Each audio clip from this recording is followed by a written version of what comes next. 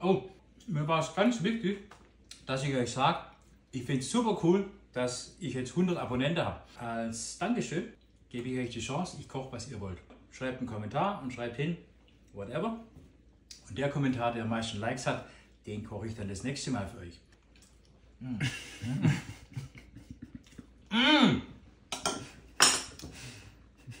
mm.